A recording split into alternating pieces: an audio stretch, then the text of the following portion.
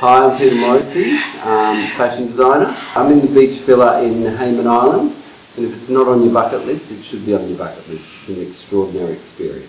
I love the beach villas because it's open to the sky in the middle with the pool. It's beautiful, it's luxury and it's right on the beach and you can see right through to the ocean from the front door. The butler service is extraordinary. What's it like having a personal butler? It's really bad once you've tried it because you really want it all the time. My favourite thing about Hayman is I think that you get to relax here. Relaxation really is the key to what this place is about. I love it for that reason because I actually stop.